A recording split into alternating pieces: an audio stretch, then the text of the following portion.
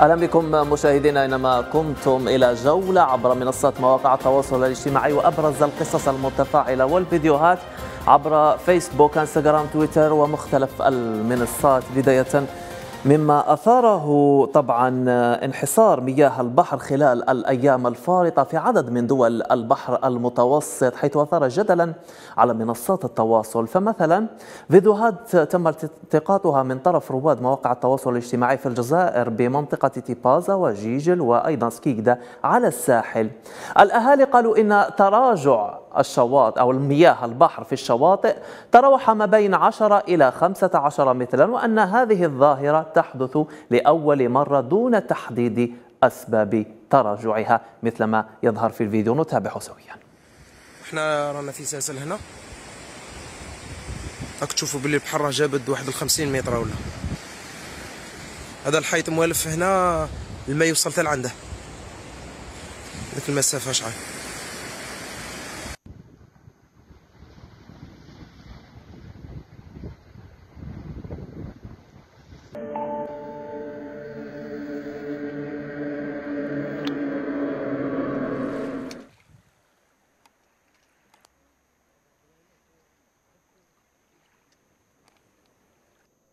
أما في منطقة عدلون بلبنان وسيناء مصر أيضا أثار نفس الأمر حالة من الهلع لدى رواد التواصل.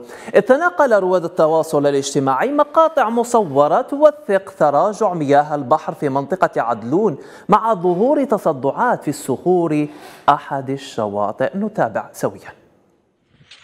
الله يستر.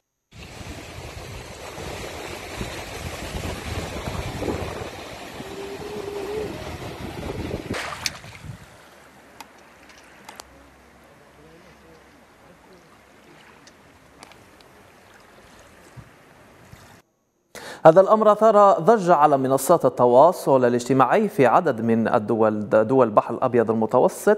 رواد التواصل غردوا على الأمر وقالوا بداية مع أحد التغريدات لفريال بوزارة قالت هنالك أسباب كثيرة تغيرات الطقس الجفاف التلوث انخفاض مستوى سطح الأرض والله أعلم. أما ناصر حشاني قال ظاهرة طبيعية متعلقة بالمد والجزر واتجاه التيارات البحرية الغربية والشرقية وهذه الظاهرة ناضجة أن تمارين باتجاه أوروبا.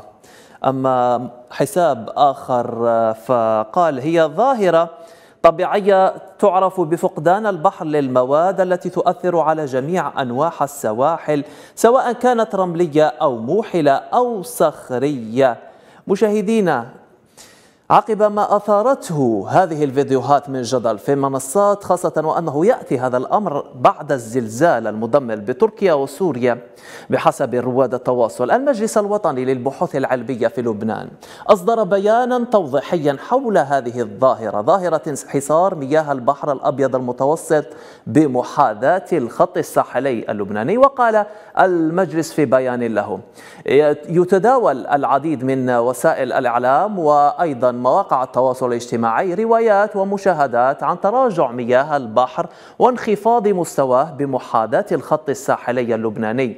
كذلك كانت وسائل إعلام عالمية تحدثت سابقا عن انحسار مياه البحر في العديد من الدول دول حوض البحر الأبيض المتوسط.